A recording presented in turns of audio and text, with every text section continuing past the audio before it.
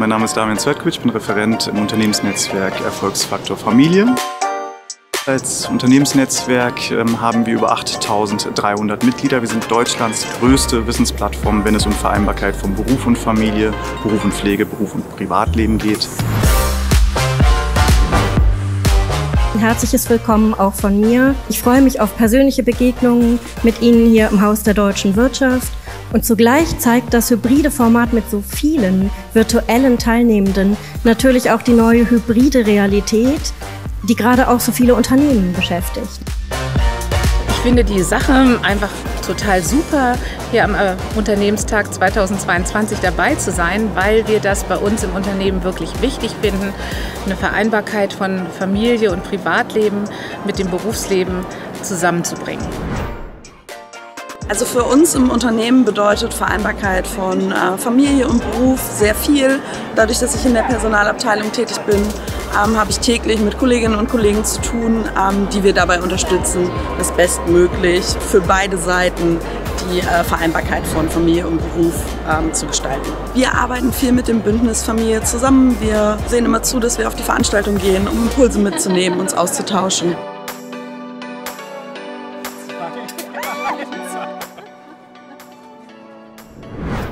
Meine Damen und Herren, die Corona-Pandemie, die wir ja auch als große Krise jetzt über zwei Jahre, zweieinhalb Jahre erlebt haben, hat ähm, diesen Innovationsprozess in den Unternehmen gefördert.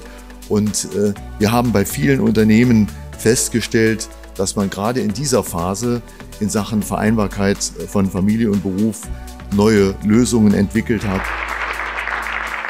Wir haben heute den Innovationspreis Vereinbarkeit gewonnen in der Kategorie Kleines Unternehmen. Ich finde das Netzwerken sehr wichtig, gerade in unserem Bereich, dem Handwerk, weil wir mit ja, wir haben nicht so viele Führungsebenen installiert, wie es zum Beispiel ein, ein, ein, ein, großes Unternehmen.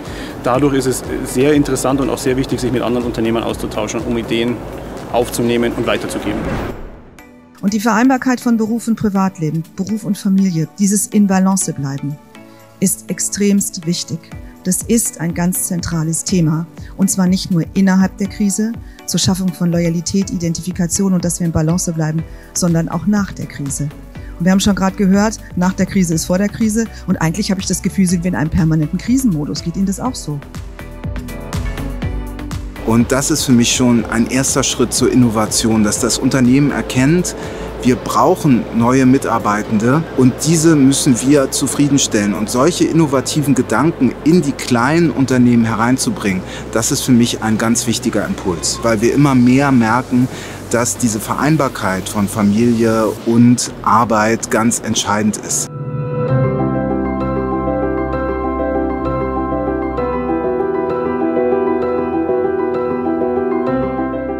Sie alle, die Teil dieses Netzwerks sind, machen einen elementaren Unterschied.